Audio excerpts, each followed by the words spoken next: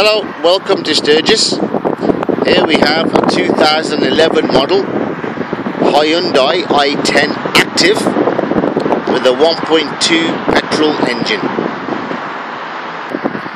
This car comes with alloy wheels, front fog lights and it has the remote central locking.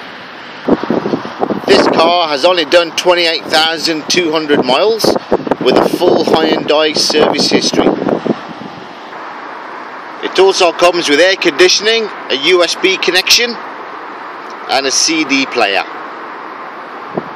Nice economical motoring with £20 a year road tax. This car is available for £5,995 and don't forget it also comes with the balance of the 5 year manufacturer's warranty. And also don't forget you can reserve the car with our free click and collect service. And once again, thank you for visiting Sturgess.